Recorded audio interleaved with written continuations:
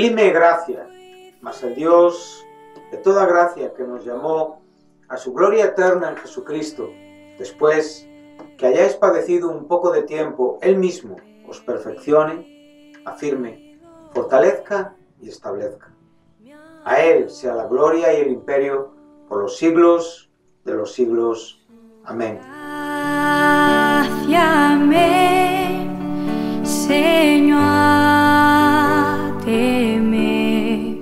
Sublime Gracia es un programa que presenta breves reflexiones fundamentadas en la palabra de Dios. Es un deseo y necesidad de mi propio corazón de conocer más profundamente a este nuestro Dios de toda gracia que nos llamó a su gloria eterna en Jesucristo. Todas las semanas, en Luz a las Naciones, canal cristiano de comunicación, puedes seguir este programa y recorrer juntos el largo pero certero sendero de la palabra de Dios. Dios me salvó y mis cadenas ya él rompió. Sublime gracia, porque de su plenitud tomamos todos y gracia sobre gracia. Perdón, sublime gracia, inmenso amor.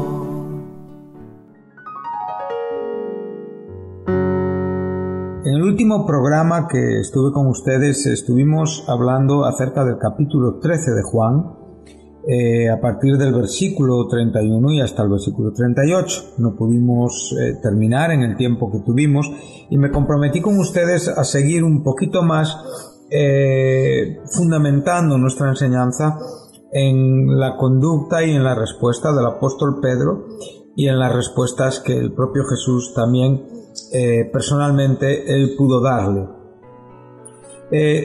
Pudiendo apreciar evidentemente el corazón de gracia de nuestro Señor en cuanto a los propósitos que Él se ha propuesto eh, en sí mismo en cuanto a lo que es eh, nuestra vida.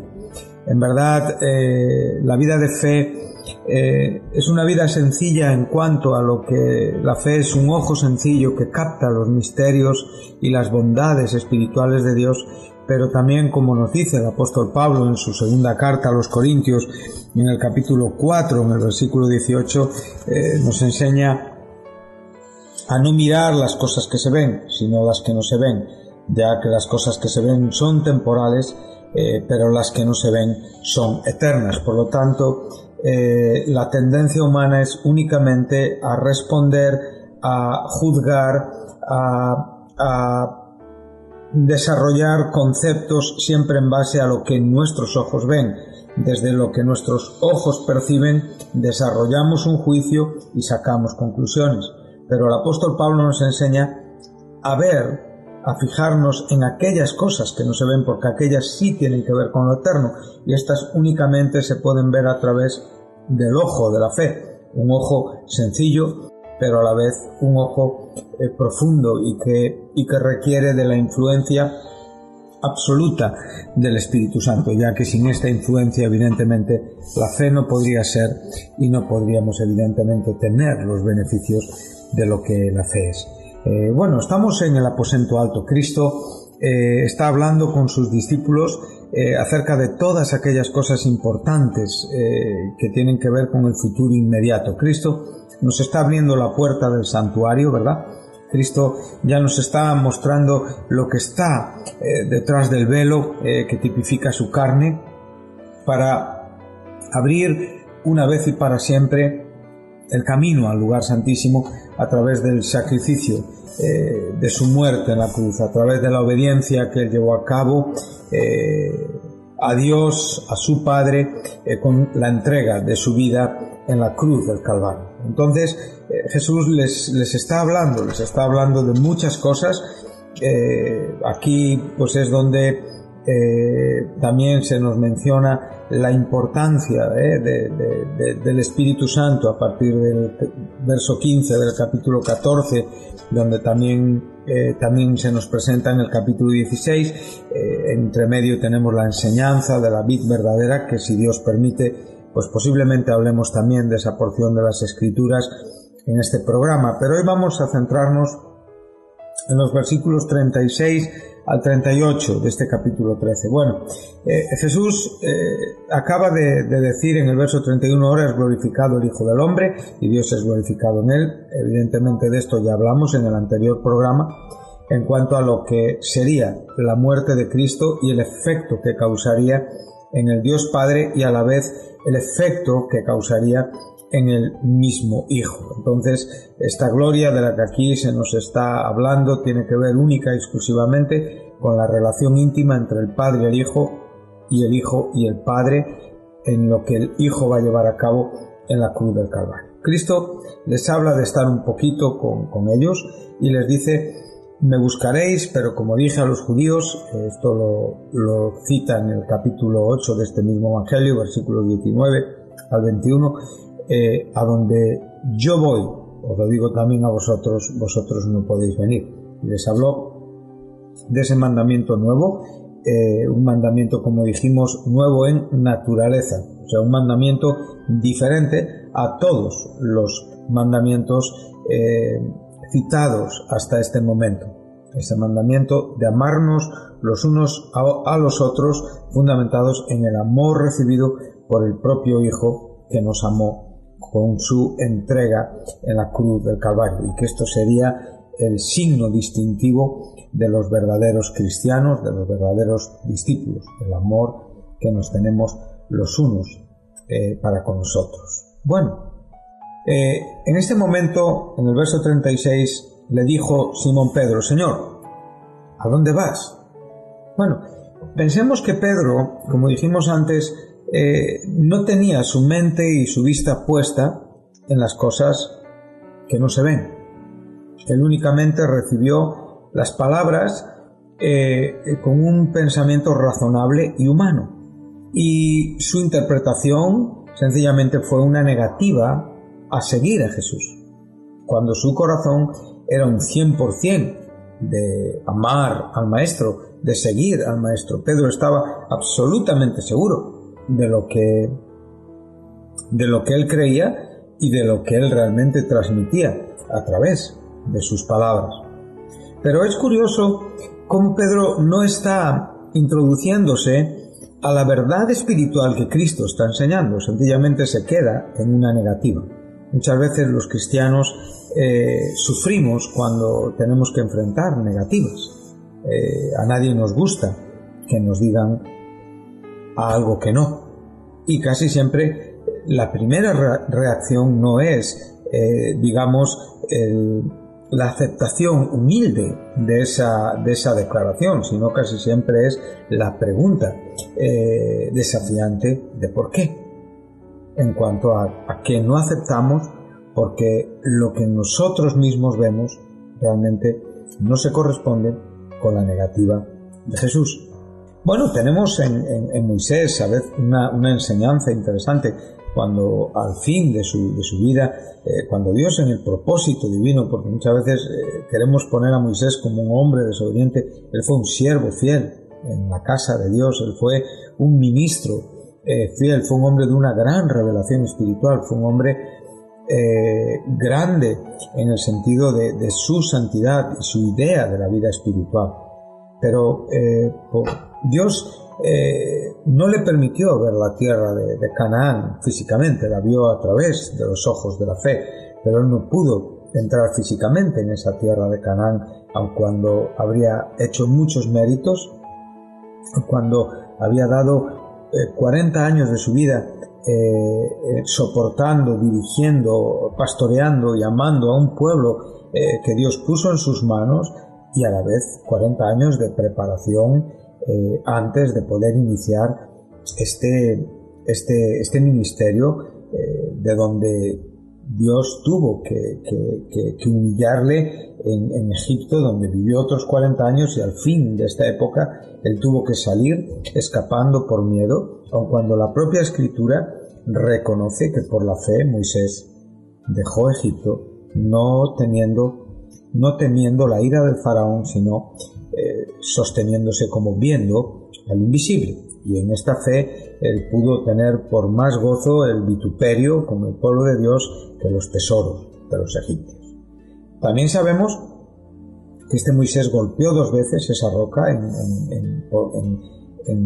la segunda historia que, nos representa. Eh, primero tenemos una primera historia donde, donde Moisés golpea la roca y sale el agua y después tenemos una segunda historia donde Dios declara que, que no le santificaron delante del pueblo y por lo tanto eh, Dios se santificó a sí mismo y esta fue una causa que el propio Dios eh, establece en cuanto a, a la causa por la cual Moisés no entraría en la tierra eh, prometida. Pero eh, yo pienso que, Dios tiene muchos más propósitos de los que pensamos y creemos y a veces ciertas negativas no tienen en ninguna manera que ser eh, de una idea menospreciativa hacia el conjunto ministerial de un hombre. Entonces sabemos que Moisés en el fin de su vida rogó a Dios el poder entrar y Dios le dijo a la oración de su siervo, basta ya, no hablemos más de este asunto. Por lo tanto, Moisés tuvo que aprender a aceptar la negativa de Dios. Pedro aquí eh, no está poniendo su vista en las cosas que no se ven. Pedro únicamente está poniendo su vista en las cosas que se ven y eso produce en, Pedro eh, pues un malestar. Entonces, cuando, cuando Jesús termina de hablar en cuanto al mandamiento nuevo, es Pedro quien interrumpe y le dice, Señor, ¿dónde vas? Y Jesús le responde, a donde yo voy, no me puedes seguir ahora, pero me seguirás después. Pedro le dice, porque no te puedo seguir ahora, mi vida pondré por ti. Y aquí es donde Jesús le declara con rotundidad y le habla proféticamente de algo que sucedería muy poquito tiempo después en cuanto a lo que Pedro creía de él mismo. Le dijo, tu vida pondrás por mí, de cierto, de cierto, te digo, no cantaré el gallo sin que me hayas negado tres veces. Bueno, aquí no estamos hablando de un cualquiera, como antes, citando a Moisés, no estamos hablando de una persona cualquiera. Pedro era un hombre obediente. Pedro es aquel que, que antes de, de este suceso había dejado todo por seguir a Jesús. Él había abandonado sus redes, había abandonado su barca, había abandonado todo lo que era la fuente de su futuro, aquello donde él se apoyaba para la vida, por seguir a Jesús. Sabemos que Cristo declaró de él, yo te haré un pescador de hombres. Pedro fue aquel que le dijo al, al Señor Jesús, después de la historia del joven rico, nosotros hemos dejado todo por seguirte. Y eso era verdad. Lo cual Jesús le, habló de las de los, de los tesoros y de las recompensas espirituales que, que tendrían por, por este hecho, por este corazón. Pedro le dijo, lo hemos dejado todo y te hemos seguido, ¿qué tendremos? Y Jesús le, dijo con absoluta claridad, cualquiera que haya dejado casa, su hermano, su hermana, su padre o madre o mujer o hijos o tierras por mi nombre, recibirá cien veces más y heredará la vida eterna. Pedro era un hombre entregado. Pedro era un hombre que amaba a Cristo. Cuando Cristo preguntó, eh, ¿quién decís vosotros que soy yo? Fue Pedro, bajo la revelación, la unción del Espíritu Santo, que le dijo, tú eres el Cristo, el Hijo del Dios viviente, capítulo 16 de Mateo. Pero a lo que Cristo respondió, no te lo ha revelado ni carne ni sangre, sino que te lo ha revelado mi Padre que está en los cielos, por lo tanto eres bienaventurado. Pedro fue el mismo que, que, que, a la vez en esa misma historia trató de evitar eh, la muerte profetizada en la boca del propio Jesús en cuanto a, a que tenía que morir. Y él le dijo, en ninguna manera esto te acontezca. A lo que Jesús le contestó tras de mí, Satanás, y la respuesta que Jesús le da es porque pones la mira en las cosas de los hombres y no pones la mira en las cosas de Dios. Entonces, eh, Pedro no, no, no es un hombre cualquiera, él, él, él es un hombre espiritual. La, la, historia que tenemos de Pedro hasta este momento es, es, la de un hombre terco, pero de un hombre verdadero.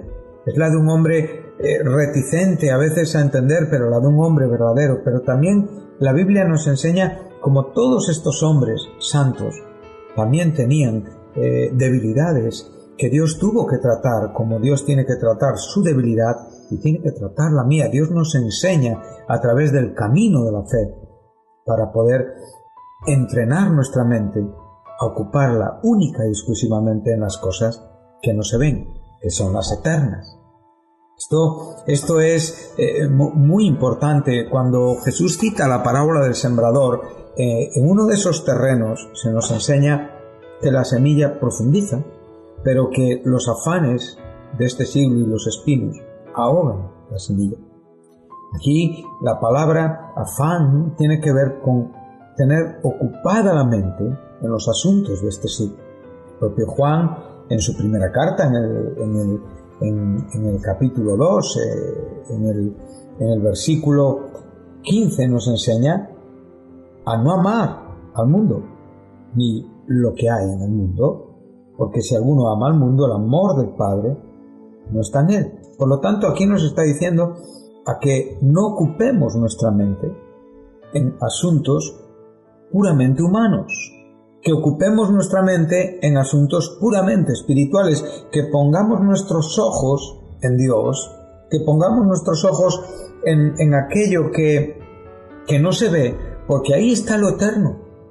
Cuando nosotros podemos dirigir nuestra mirada, dirigir nuestro pensamiento mover nuestra voluntad a través de esa obra perfecta y amplia del Espíritu Santo a través de la fe que nosotros tenemos y desarrollamos, realmente estamos comprendiendo, porque, como digo, Cristo aquí está abriendo la puerta del santuario para que nosotros entremos y podamos recibir las bendiciones espirituales. Como dijo el apóstol Pablo, bendito sea el Dios y Padre de nuestro Señor Jesucristo que nos bendijo con toda bendición espiritual en los lugares celestiales en Cristo Jesús. Por lo tanto, lo que Cristo ganó para nosotros en la cruz, todas estas verdades, todas estas bendiciones espirituales están dispuestas para que nosotros entremos a través del camino nuevo, a través del velo que Él quebró con la entrega de su vida y a través de su sangre,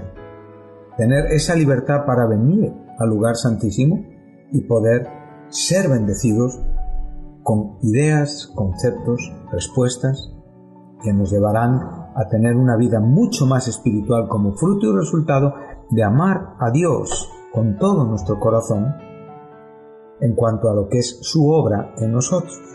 Por lo tanto, el debate que aquí Pedro tiene es un debate humano, pero Dios no desconoce nuestras debilidades. Dios sabe que somos carne. Dios sabe que, que nos, que nos eh, desanimamos fácilmente. Dios sabe que somos afectados por las diferentes circunstancias de la vida. Enfermedades, pérdidas de seres queridos, eh, desprecios, eh, humillaciones, críticas, situaciones que, que a veces no salen como esperamos, conflictos con nuestros hijos, conflictos en las familias. Los cristianos son probados constantemente. Como dice la escritura, dice que, el justo, el justo va a ser probado. Muchas son las aflicciones del justo, pero de todas le sacará Dios, porque en todas Dios tiene un propósito de revelarnos algo de nuestros corazones para poder comprender más profundamente aquello que no vemos porque nuestros ojos están puestos única y exclusivamente en las cosas temporales. Entonces, eh, aquí es donde debemos de hacer una pequeña reflexión. Cuando estamos leyendo estas verdades no estamos hablando de, de cualquier persona, estamos hablando del apóstol Pedro, Estamos hablando de alguien hecho espiritualmente, de alguien con, con, con una clara trayectoria santa, con una entrega, con un valor delante de Dios, pero todavía con cosas para aprender. Sabemos que este fue el santo que Dios evidentemente eh, perdonó, restauró y llegó a ser el líder principal de la iglesia de Jerusalén, juntamente con Juan y Jacobo, pero Pedro era la figura principal de esa iglesia. Entonces, Pedro tiene que ser enseñado en este asunto. Y Pedro tiene que comprender la, la, la, mirada puramente humana que él está teniendo y que le está llevando a, a no comprender las verdades que Cristo está revelando, ya que Jesús, como dije antes, está abriendo la puerta del santuario para que Pedro entrara y comprendiera, pero Pedro únicamente se quedó en su apreciación humana, humana. Recordamos el capítulo 12 de Hebreos, donde se nos dice, por tanto, nosotros también teniendo en derredor nuestro tan grande nube de testigos, tenemos que despojarnos de todo peso, o sea, de todo concepto que contradice, de toda idea, de todo pensamiento, de toda manera, de toda actuación, de toda palabra, de toda respuesta que contradice el propósito de Dios, la voluntad de Dios en nuestras vidas y del pecado, evidentemente que constantemente nos asedia y que es la principal causa de, la, de los daños espirituales en la iglesia, en el pueblo de Cristo, en la familia de Dios, en los hijos de Dios. Es el principal causante de apartarnos de la fe.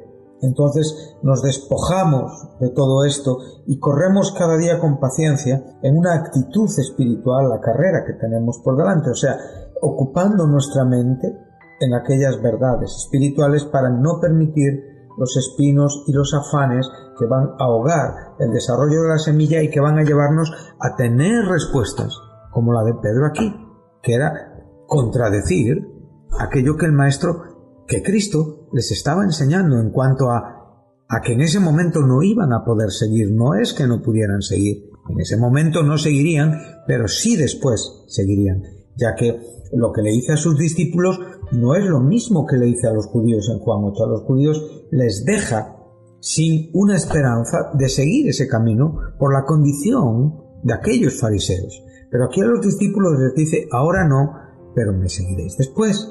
Por lo tanto, la actitud espiritual nos lleva a pensar espiritualmente. Entonces corremos con paciencia la carrera que tenemos por delante. Jesús les está hablando de algo que está por delante. Les está diciendo, ahora no, me seguiréis después. Por lo tanto, como digo, las cosas que no se ven son las que realmente tienen importancia. Y ahora dice el verso 2, no de cualquier manera corremos la carrera, sino poniendo los ojos en Jesús, que es lo mismo que decir teniendo fe en Jesús, quien es el autor y el consumador de la fe, el cual, por el gozo puesto delante de él, sufrió la cruz, o sea, está hablando de la actitud que Cristo tuvo en cuanto al propósito y a la voluntad del Dios Padre para con su vida. Recordamos esas palabras maravillosas. Por eso el Padre me ama, porque pongo mi vida, nadie me la quita, tengo poder para ponerla y para volverla a tomar. Por lo tanto, ese gozo expresado por el propio Hijo de Dios en la obediencia al Padre es lo que tiene que distinguirnos, diferenciarnos a nosotros hoy como hijos de Dios, como seguidores de Cristo, como cristianos, en cuanto a lo que es nuestro principal fin, que es obedecer a Dios. Y esa obediencia a Dios no puede ser de otra manera que a través de la fe, de la fe en Jesús, que es el autor y el consumador de nuestra fe, en la cruz del Calvario, en su muerte, en su resurrección, y se sentó a la diestra de Dios, nos está hablando no solamente del sacrificio en mediador por los pecadores, sino también nos habla de su ministerio hoy mediador por los pecadores.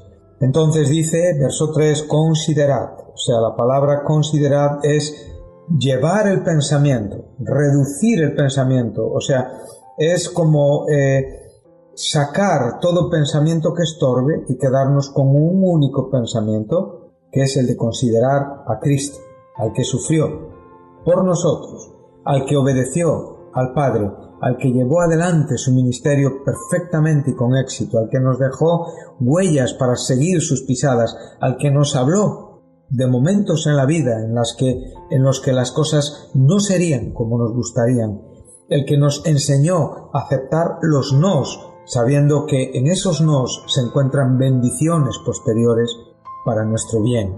Entonces consideramos reducimos nuestro pensamiento, ocupamos nuestro pensamiento únicamente en Cristo Jesús que nos está abriendo las puertas del santuario para que nuestro ánimo no se canse hasta desmayar. Bueno, voy a dejarles eh, aquí en este programa. Voy a continuar en el próximo programa pues eh, viendo un poco el desarrollo de este no, a la vez también eh, el comportamiento de Pedro, pero ante todo lo que estamos viendo es la gracia de Dios, la gracia manifiesta de Dios con su con sus hijos, en este caso con su hijo, con este santo amado por Dios, en cuanto a despojarle de todo aquello que le estorbaba, a despojarle de toda intención pecaminosa para llevarle a un pensamiento reducido a una consideración que únicamente estaba fijada, dirigida a Cristo Jesús. Por lo tanto, cuando vemos estas cosas en la Escritura, tenemos que ver la gracia de Dios obrando en nuestro beneficio para poder llevarnos a comprensiones mejores a través de las cosas que no se ven, que son eternas, ya que las que se ven son temporales. Eh, que Dios les bendiga y les espero en el próximo programa. Muchas gracias.